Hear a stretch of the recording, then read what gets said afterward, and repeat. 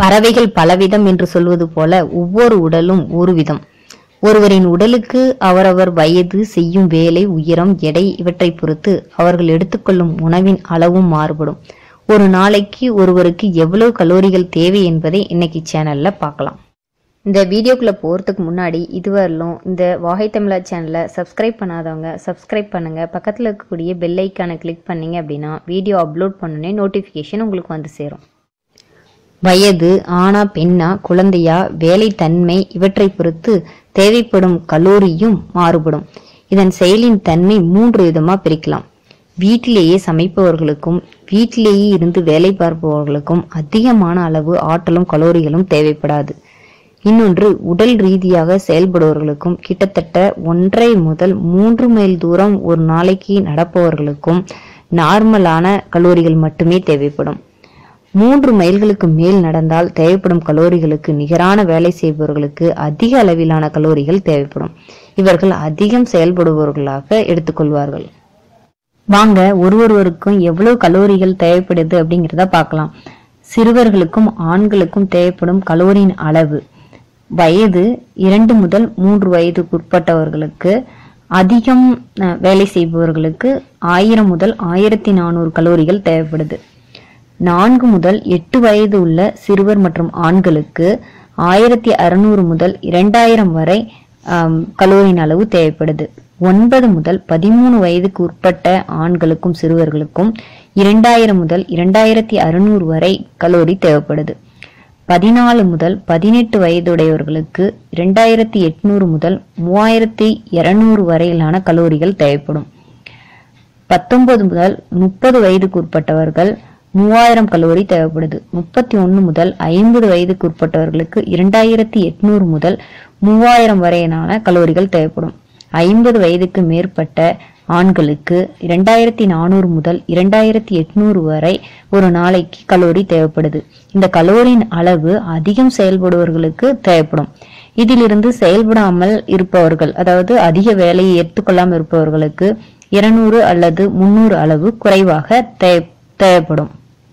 அதேபோல் சிறுமிகளுக்கும் பெண்களுக்கும் ஒரு நாளைக்கு தேவைப்படும் கலோரின் அளவை பார்க்கலாம். வயது இரண்டு முதல் மூன்று வயதுக்குட்பட்டவர்களுக்கு அதாவது அதிகமாக ஓடியாடி விளையாடக்கூடிய குழந்தைகளுக்கு ஆயிரம் முதல் ஆயிரத்தி நானூறு தேவைப்படும். அதே போல நான்கு முதல் எட்டு வயதுக்கு உட்பட்ட சிறுமிகளுக்கு சிறுமிகளுக்கு ஆயிரத்தி நானூறு முதல் ஆயிரத்தி எட்நூறு கலோரிகள் தேவைப்படுது. அதே போல ஒன்பது முதல் பதிமூணு வயதுக்கு உட்பட்ட சிறுமிகளுக்கு ஆயிரத்தி எட்நூறு முதல் இரண்டாயிரத்தி இருநூறு வரை கலோரி தேவைப்படும். பத்தொன்பது முதல் முப்பது வயதுக்கு உட்பட்ட பெண்களுக்கு இரண்டாயிரத்தி நானூறு கலோரி தேவைப்படுது. முப்பத்தி ஒன்று முதல் ஐம்பது வயதுக்கு உட்பட்ட பெண்களுக்கு இரண்டாயிரத்தி இருநூறு கலோரி தேவைப்படுது. ஐம்பது வயதுக்கு மேற்பட்ட பெண்களுக்கு இரண்டாயிரம் முதல் இரண்டாயிரத்தி இருநூறு கலோரிகள் தேவைப்படுது. இதுவும் ஆண்களுக்கு குறிப்பிட்டது போலவே அதிகமாக வேலை செய்பவர்களுக்கு இவ்வளவு கலோரி தேவைப்படும். சற்று குறைவாக வேலை செய்பவர்களுக்கு இதில் இருந்து இருநூறு அல்லது முன்னூறு அளவு கலோரி குறைவாக தே இருந்தாலே போதுமானது. அப்ப வாங்க பார்க்கலாம். நம்ம தினமும் உட்கொள்ளும் உணவுல எந்தெந்த உணவுல எவ்வளவு கலோரிகள் இருக்குன்னு தெரிஞ்சுக்கலாம். ஒரு அவித்த முட்டையில பாத்தீங்க அப்படின்னா நூத்தி ஐம்பத்தி ஐந்து கலோரிகள் இருக்கு. ஒரு நீங்கள் சாப்பிடக்கூடிய ஆப்பிளில் ஐம்பத்தி ரெண்டு கலோரிகள் இருக்குது கேரட்டில் நாற்பத்தி மூணு கலோரிகள் இருக்குது ஒரு இட்லியில் முப்பத்தி ஒம்பது கலோரிகள் இருக்குது அது மட்டும் இல்லாமல் நம்ம தினமும் குடிக்கக்கூடிய ஒரு டம்ளர் பாலில் நாற்பத்தி ரெண்டு கலோரி இருக்குது ஒரு ஆரஞ்சு பழத்தில் நாற்பத்தி ஏழு கலோரி இருக்குது நம்ம சாப்பிடக்கூடிய ஒரு கப் தயிர்ல ஐம்பத்தி ஐம்பது ஐம்பத்தி ஒன்பது கலோரி இருக்குது நம்ம சாப்பிட்ற ஒரு தோசையில் நூத்தி இருபது கலோரிகள் இருக்கு. அது மட்டும் இல்லாம ஒரு வாழைப்பழத்துல எண்பத்தி ஒன்பது கலோரிகள் அடங்கியிருக்கு. இன்னும் சொல்ல போனா நம்ம பயன்படுத்தக்கூடிய தேங்காய் எண்ணெயில எட்நூத்தி அறுபத்தி ரெண்டு கலோரிகள் இருக்கு. ஆட்டு இறைச்சி அதுல நூத்தி நாற்பத்தி மூணு கலோரிகள் இருக்கு. மாட்டு இறைச்சியில இருநூத்தி ஐம்பது கலோரிகள் இருக்கு. கோழியில இருநூத்தி முப்பத்தொன்பது கலோரிகள் இருக்குது உருளைக்கிழங்குல பார்த்தீங்க அப்படின்னா எழுபத்தி ஏழு கலோரிகள் இருக்கு. பீட்ரூட்ல நாற்பத்தி மூணு கலோரிகள் இருக்கு. அரிசியில நூத்தி முப்பது கலோரி இருக்கு. கோதுமையில முன்னூத்தி ஐம்பத்தி ஏழு கலோரிகள் இருக்கு. இது மட்டும் இல்லாம நம்ம முந்திரி முந்திரியில ஐநூத்தி ஐம்பத்தி மூணு கலோரி இருக்கு. ஒரு கரண்டி நெய்யில வந்து பாத்தீங்கன்னா நூத்தி பன்னிரெண்டு கலோரிகள் இருக்கு.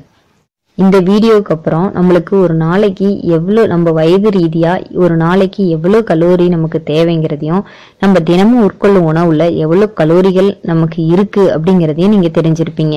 இதுக்கப்புறம் ஒரு பட்டியலிட்டு எந்தெந்த உணவை நம்ம எடுத்துக்கிட்டா நம்ம இயற்கையாக முறையில் எனர்ஜி கிடைக்கும் அப்படிங்கிறத உங்களால் உணர முடியும்னு நம்புகிறோம் இந்த பதிவு உங்களுக்கு பயனுள்ளதா இருக்குன்னு நம்புனீங்கன்னா உங்க ஃப்ரெண்ட்ஸுக்கும் ஷேர் பண்ணுங்க. இதுவரையிலும் இந்த வகை தமிழர் சேனலை சப்ஸ்கிரைப் பண்ணாதவங்க சப்ஸ்கிரைப் பண்ணுங்க. பக்கத்துல இருக்கக்கூடிய பெல் ஐக்கானை மறக்காம கிளிக் பண்ணுங்க.